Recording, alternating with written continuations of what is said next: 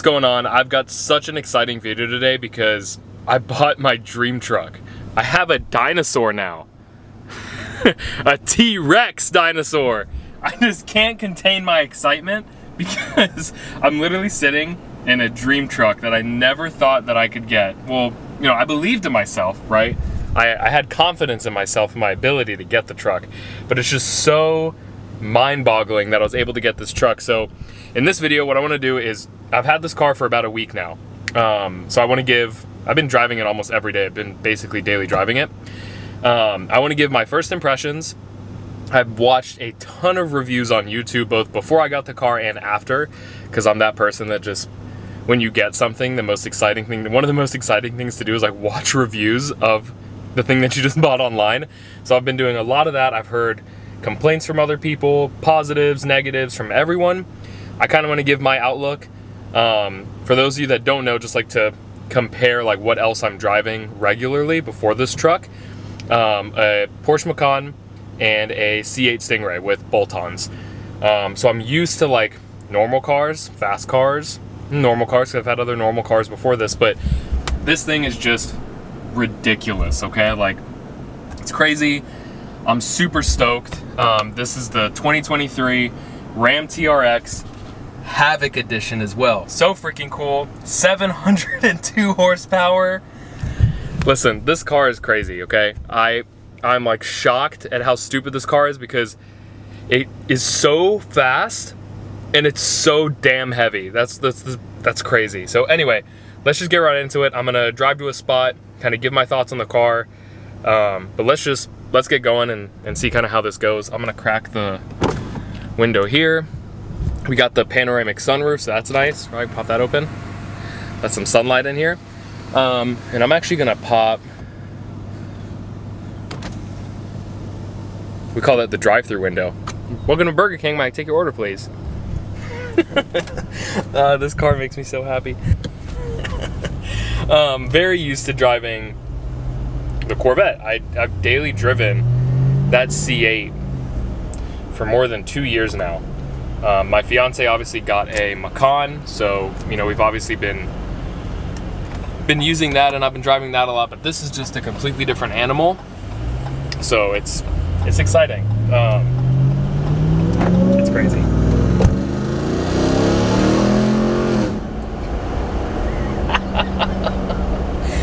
The crazy thing is, is the car weighs like over 6,000 pounds. It's like 6,500. Don't, don't quote me exactly. It's around, it's over 6,000 pounds. The crazy thing about it is how quick it goes quick. Okay? Like that's the best way to describe it. How quick this thing goes quick. It's stupid. It's literally insane. Like this heavy of a car, this big of a truck, because it's basically got a wide body kit put on it, how quick it goes that quick. It's, it's insane. This truck is just insane, okay? What's crazy about it is you've got the supercharger wind up front, the exhaust out back. Like that. but just listen to the supercharger whine, which I hope you guys will be able to hear it as well.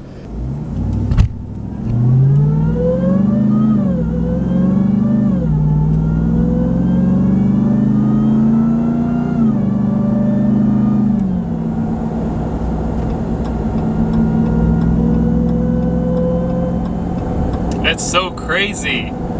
That whine. It's probably one of my uh, it's probably one of my favorite things about this car is that supercharger whine. Makes it a joy to drive every time you get in. It's insane. I think you know, I'm almost at my spot now. I'll get into some of like the complaints that I've heard online and I'll kind of address them when I get there as well. Um, a lot of it has to do with like infotainment and very small stuff I can't talk over that whine. um, you know, I'll talk more about that uh, here in a little bit, but you know, I think the big thing that I had to get used to when I first got this and I was driving it around is its size. Um, I mean, I'm coming from driving a C8, low, sticking sticking to the ground, not very big, right? It's a sports car. Um, whereas this now, it's big. Um, and you know, it probably took me three days of straight up driving to really get used to it. Now, since I'm used to the size, I know like my bearings, I feel good, I can drive it no problem, and it feels very nimble for being this big. Like, it feels nimble.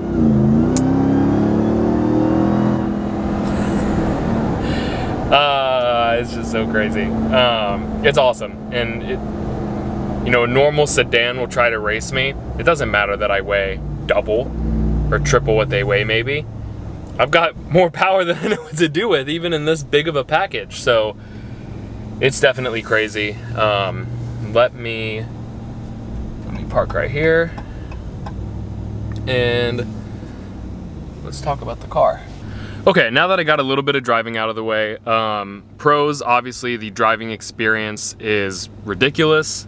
It obviously took a little bit to get used to. You know, I'm used to driving the Corvette, so getting in here and driving this wide, big car, this big truck with this much power was something to get used to. But after a couple days of driving it straight, I'm used to it.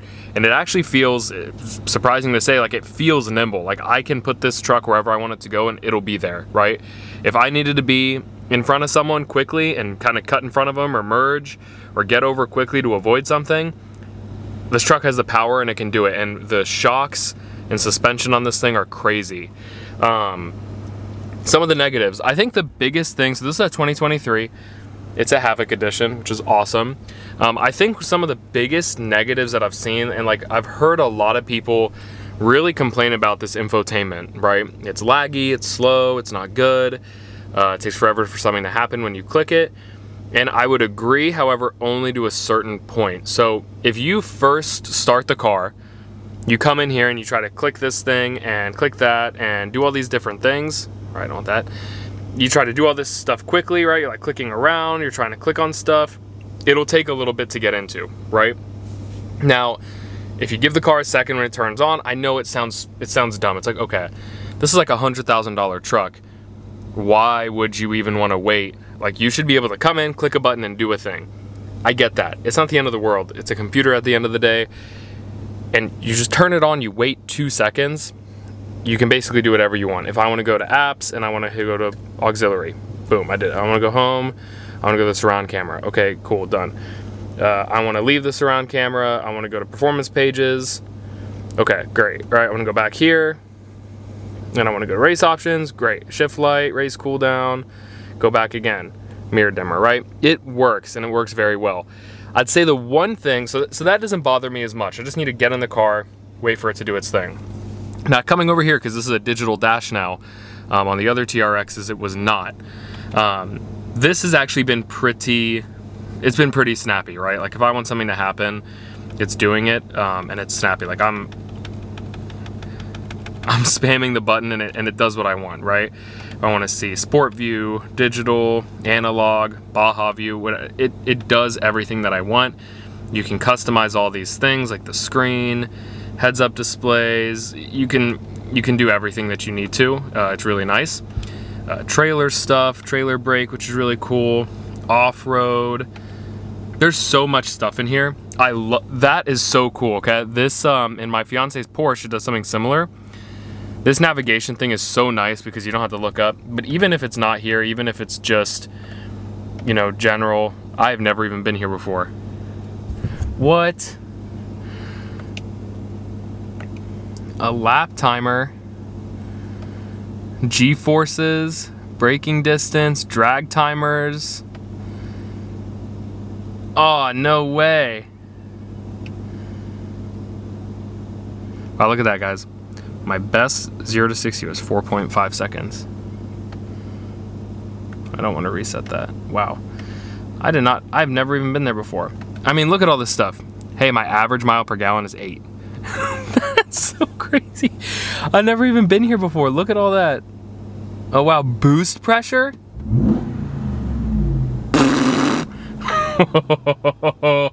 That's so cool to see all that happening. Just listen, listen.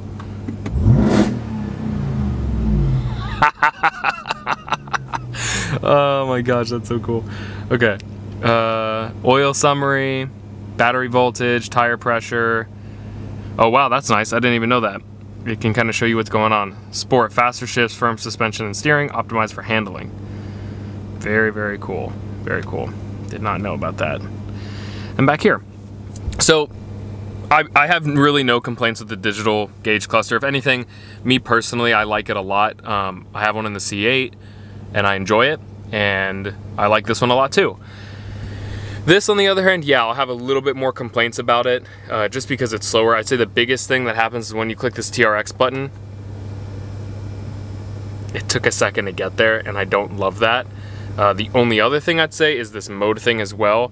So if I'm clicking, like I'm clicking right now, and it's pretty slow. Um, now, obviously, when I start the car, I usually put it in sport mode, and it does these cool little animations. I put it in sport mode so I know, oh, three clicks to the left, that's sport mode. It can be kind of annoying though. Um, what's cool though is each one of these has their own little automation, um, or animation. So there's snow, tow, I don't think it does anything for that. Sport, shows like you're on a racetrack. It's pretty cool. Uh, Baja, that's cool.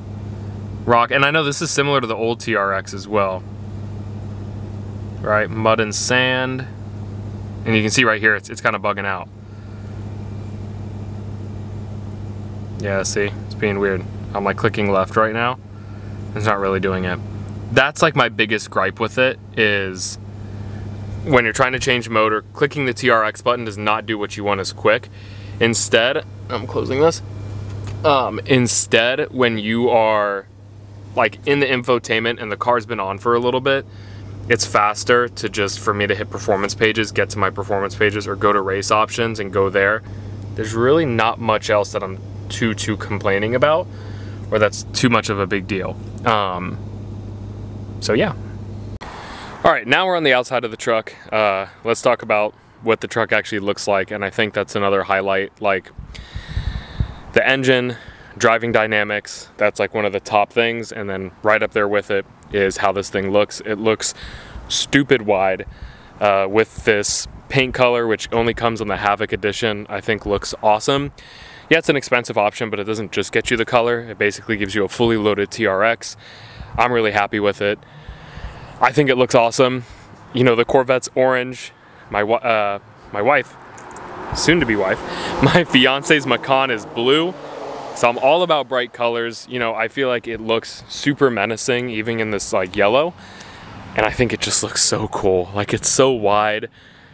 It's got these hooks up front, recovery hooks, I believe. It's awesome.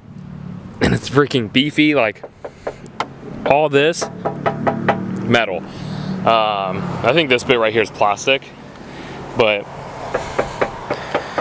it's all metal right? It's a beefy car. It looks amazing. It's so wide. You know, we've got these air inlets right here and you can literally see out the other side. So they're fully functional. Air comes in right here. Air comes out right here. Super cool. Um, I know that these vents back here are not functional, unfortunately, but it still adds to the whole look and the feel of the truck and it just looks awesome. And then these exhaust ports right here, these exhaust outlets are massive. Like I could totally fit my fist in there. It's insane. Obviously got stuff here for your towing and your trailer. Um, as far as the actual tailgate, it comes down nice and controlled. It's really solid. Comes with the spray and bed liner, which is a really big must for me. Has even some trailer tie downs. It's really cool too. Is you can click this little button here. There we go. Lights popped on. It's pretty nice. Um, and what's really cool is you can even hop up here. There's this little kick down right here. Ah, like that. And then you can hop up in the truck and kind of do what you want. Um, tie downs, there is not an outlet anywhere. I thought there was, but there isn't. But it's really nice. Fast food window, of course. That's what I'm calling it. I'm coining it that. Um, Whoa. So yeah, this this uh, step up's pretty nice. When you're done with it, you can just kind of kick it in. Um, and put the tailgate back, back up. Tires look really aggressive. They're big, they're 35s. I think some people like the 37s, especially on like the Raptor R. I haven't seen 37s in person, so I'd actually have to see to determine what they're like. They're beadlock wheels. You get those with the Havoc, um, or at least beadlock capable. Those look really cool. And of course, one of the big points here is the Bilstein shocks in the TRX. It helps it ride really, really well. You know, I've actually been driving it around yesterday. So majority of the time I've been driving it in auto or sport. Yesterday I tried driving it in Baja and I could really feel like how floaty it was. It was super cool. Um, and I think those shocks are up here too. Just can't see them. So super cool stuff. Let's actually uh, let's take a look at the hood. So that's actually something else I forgot to mention uh, real quick before we look at the engine is on someone else's review, they were complaining about how on like a pretty expensive truck, like $70,000, $80,000 truck, it didn't come with like the keyless entry, right? So like I can kind of just do that and get in and out, which I get, it's annoying, but I feel like if you're gonna get one of these, like get one fully loaded. I get it, it's stupid where if you're paying a lot of money for a truck or a car generally, like 70, 80,000, 90,000 dollars, it should come with everything. However, I think how it's kind of, how I'm thinking of it is, well, you're paying a lot of that money anyway for the engine, the performance, the driving dynamics. None of that changes. If you get a base TRX with nothing in it, it's gonna drive exactly like mine, right? I paid all the extra money to get all the extra stuff, which I think is how you should do it. So anyway, that's just how I think of it. I don't know what you guys think, but this truck is so cool. It's amazing. And it's literally my dream truck. I can't I can't believe it. It's so cool. Uh, let's take a look at the engine. Pop this, and this is so menacing. Uh, you've got the three marker lights right here in amber, and this is once again a functional hood scoop, which you'll see here in just a second. There we go. Air gets sucked in, and it comes right from those two holes into there, directly into the engine. Super cool. I am bummed that like the cover is like this when you're looking at it. But what I think is really cool about it then is you can take a peek back here. There it is, you can see that Hellcat motor. Big old supercharger on top right there. And try to get in there. Looks pretty crazy. It's pretty insane, really, really cool. Another really cool Easter egg right here is you can pop this cover off, which I'm sure you guys have seen and it's a T-Rex eating a Velociraptor. Direct stab at the Raptor there. And you know, I've watched some reviews on the Raptor R and I need to drive one, I think, to actually give a really good comparison. I, I still really love the TRX. I honestly like how the TRX looks over the Raptor. I think they're very, very similar. I love how both of them look. I was considering getting a Raptor, um, not a Raptor R, because I, I, can't even find a Raptor R, but I was really considering getting one um, at first. They both look amazing, but I think I like how the, I definitely like how the TRX looks more, even over the Raptor R. I think it looks great. And what I do like about these special editions ones, like I know there's the Lunar Edition, this is the Havoc one, um, I know there's a couple other ones in there that I'm forgetting. But the original, like not the special editions, come with like a black liner here. It's kind of like a two-tone. So there's like the blue on top and then like a black on the bottom. And I almost got a blue one. Um, but I like this because it's all yellow and there's those black accents in the right spots. I feel like if there was black at the bottom, it would cut it off almost too much. This makes it seem more aggressive. Like I can, you guys probably can't tell. Um, it's, it's tough to tell over video. Like even the videos I'm watching, people are like, yeah, it's wide okay, you, you can't tell until you're in person just how stupid wide it is. It's like that kind of gets it. Like look at that. This is the body of the car. Look at how it pops out. It's literally got a wide body kit. It's stupid. It's got big tires. Um, I'm really happy that it came with this, uh, these step ups right here.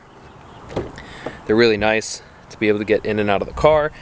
Super cool. With the Havoc edition, obviously, you're gonna get all that extra yellow stitching got carbon fiber. The yellow matched is cool. What I do wish they had though, let me go up front here, is I wish they had a yellow matched steer um, seat belts.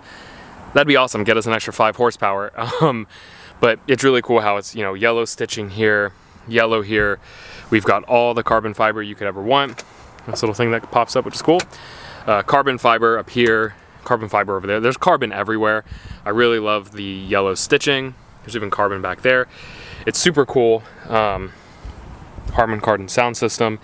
It's great. I, I actually really like the yellow. I'm a sucker for like bright colored cars, so I think this looks awesome.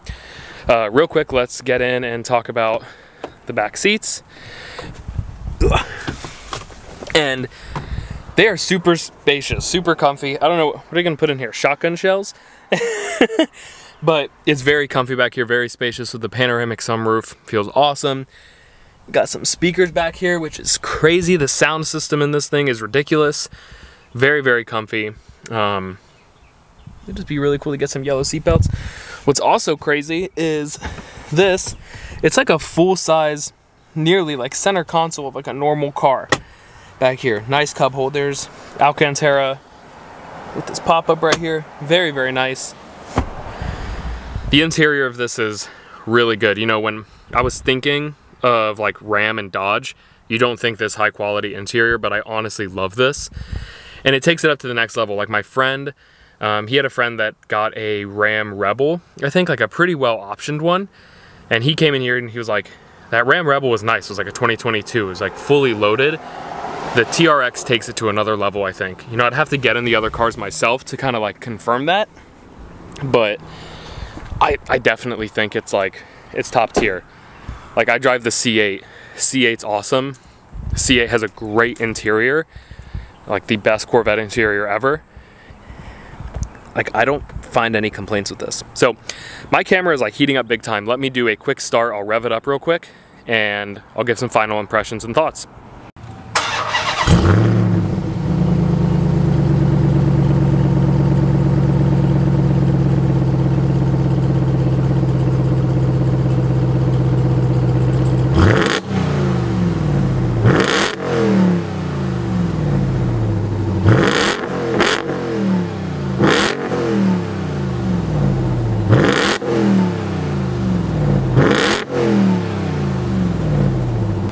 So guys, there you have it. That's really my first impressions of the Ram TRX. To sum everything up, I love this car so far. I've had it for a week. It drives ridiculously quick.